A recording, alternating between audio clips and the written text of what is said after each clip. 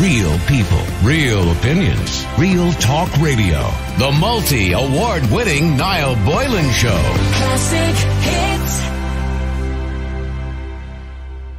Gerard Hutch, known as the Monk or Gerry Hutch, has been arrested in Spain on foot of a European arrest warrant.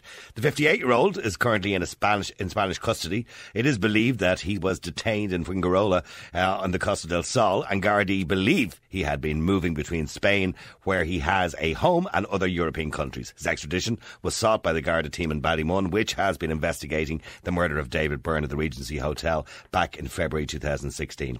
And the 34 year old Kinahan organised crime group member was shot dead at a boxing weigh-in uh, by a gang of armed men dressed as Gardaí. One was actually dressed as a woman, if you remember that uh, particular story at the time. And back in July, Gardaí served book of evidence on four men, including a former Sinn Féin councillor, who are charged in connection with the murder. A file on the case was submitted to the Director of Public Prosecutions, uh, who then applied to the High Court for a European arrest warrant for Gerry Hutch. Uh, Irish Independent journalist Paul Williams joins me on the line uh, to give me a little bit more about it. Crime journalist and author of the book on the monk uh, that was published last year. Paul, good afternoon to you.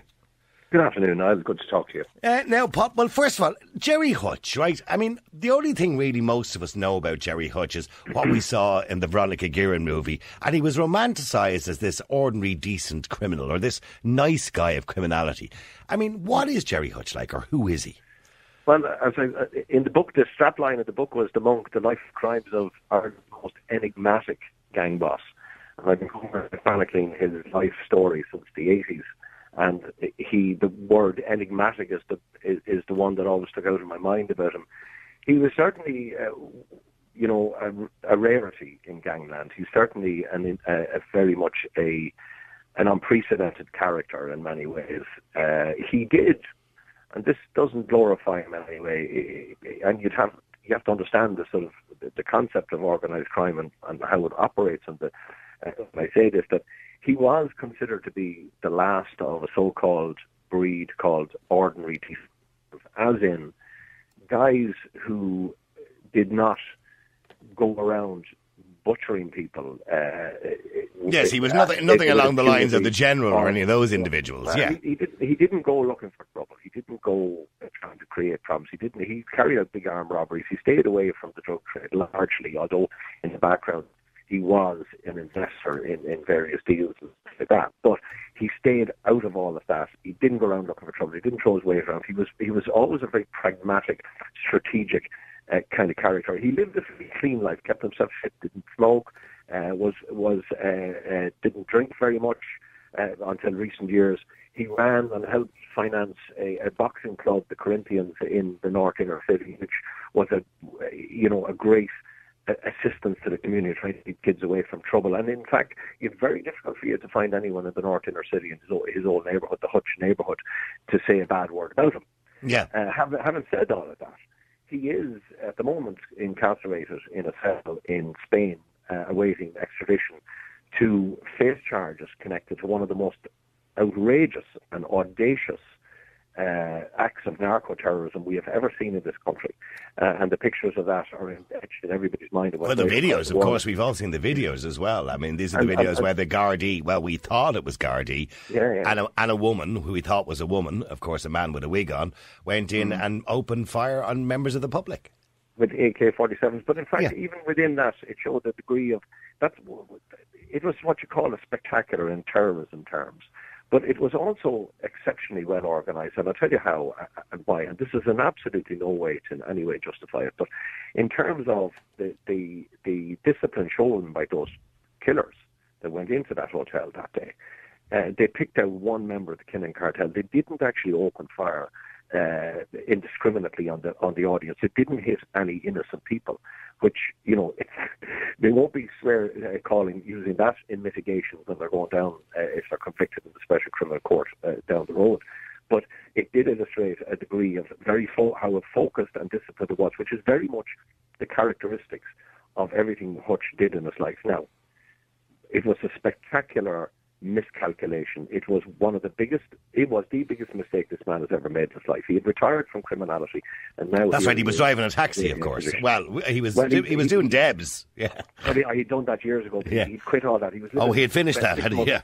Yeah, he was living in Spain, living the high, a good life, a quiet life, and keeping his head down because he's loads of money. He's invested it very, very well in the Dublin. Well, I mean, that, well, that's the thing, Paul. I mean, was he wealthy at that stage? Now, I know he paid the revenue a large sum of money at one stage. Then paid CAB 1.2 million. That's right. Years ago, yeah, And, and then and then he he ended up in court um, because he was being denied a taxi license. And I remember the Yeah. story at the time. I was working at another radio station. It was on the news at the time that the court had ruled in his favour. They couldn't deny him a right to earn a living. Um, so he got his taxi license, and then he he bought the big, um, you know, the, one of those big limos. The big stretch limo. yeah, The stretch Hummer, yeah. limo for doing the Debs.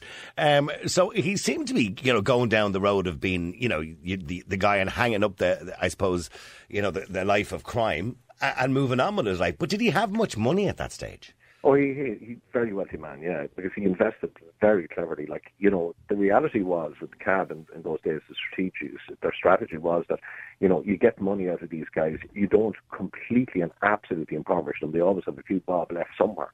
Um, he had a lot of property interests right across, uh, you know, Europe. He had a lot of property, a lot of property here in the UK. So he's quite a wealthy dude. He made a lot of money. Remember, that he robbed something the equivalent of 13 million euros in today's money. Uh, apart from, I think it was 300 or 400,000 pounds of that seized. Well, of course, he, he would deny that. By the way, can I point out? You know, he would deny. He will deny that.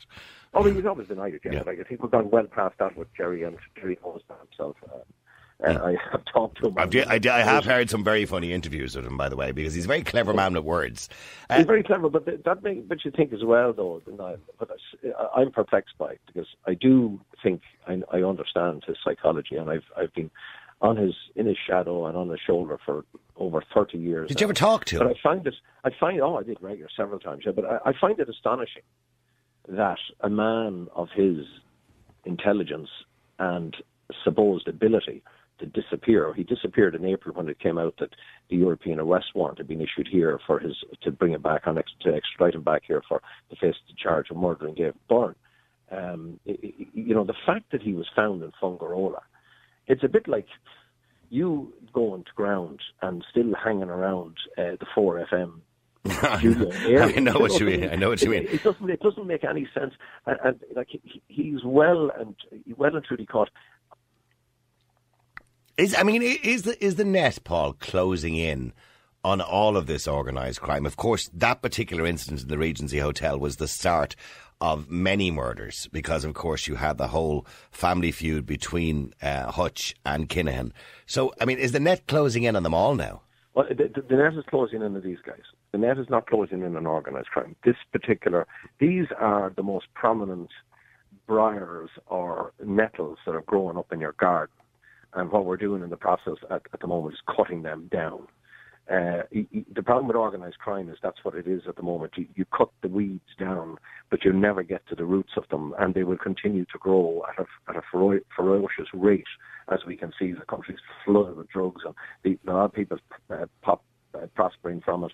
But these guys, this war, what happened between these two tribes, is let's re- remind your listeners, 2015, uh, Gary Hutch, Jer- Gerry's nephew, was shot dead by on the orders of Daniel Kinahan in Spain. But that was Kinahan reneging on a deal. He did a face-to-face deal with Gerard Hutch in 2014 to save the life of Gary Hutch because Gary Hutch was part of, an integral part of Kinahan's organisation, but fell out with him, pulled a stroke, got a guy to go along and shoot Daniel Kinahan, shot an innocent man instead.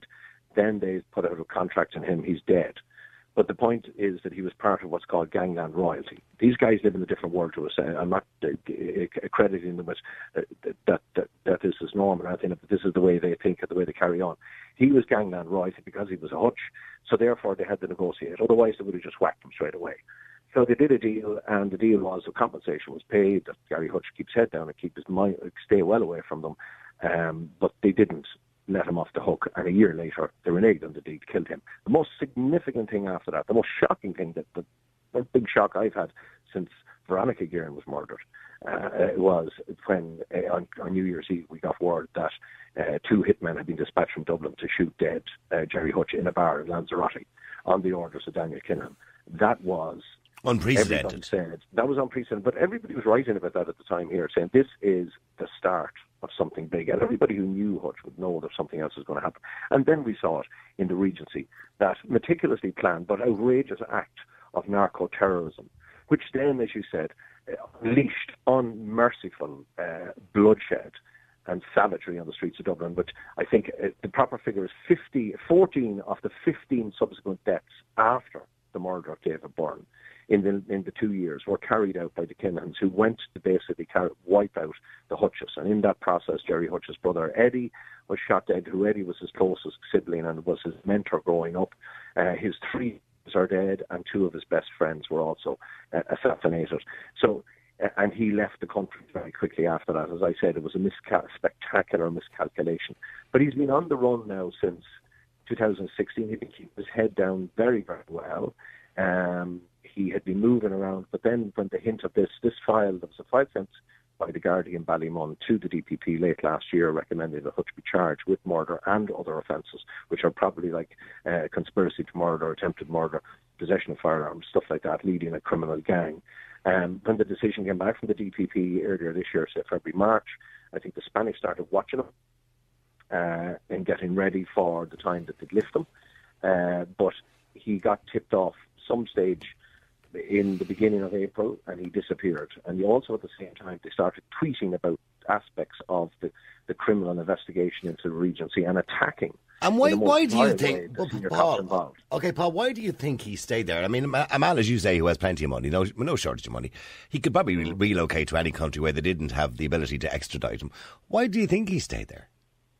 I, I really don't know. It doesn't. It, it, it makes absolutely no sense at all, uh, uh, uh unless he had just arrived back. Because where, where is Kinahan at the moment? Where whereabouts is Daniel Kinahan? But, but he's in Dubai. We know Dubai, yeah, yeah, okay. He's, he's still there. Okay, he's still in Dubai, and he okay. can't really leave there. In fact, he will be very nervous as a result of this because just like Hutch. The, once uh, I've been saying to people all day, you know, the wheels of justice grind uh, dreadfully slowly, but they do once they start grinding, they do not stop and it is relentless. The same thing is going to happen to Kinahan. Mark my word. Um, if I never predicted anything else, Kinahan will be back here, I would say, in the next few years mm-hmm. because there's huge efforts made to get to take it back. And the big, the, the net point about this is, is, is at, the, at, the, at the end of the day is this: you know, they two crews went to war with each other. But what they do whenever they go to war was they inflict absolute terror on the ordinary society and they threaten the legitimacy of the state and they threaten to undermine the rule of law because these guys decided they want to start killing each but other. But they did, un- they did